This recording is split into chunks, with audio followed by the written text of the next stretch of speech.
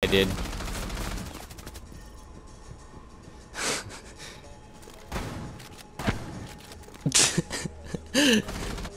yeah, he stole my armor. He stole my sweatshirts.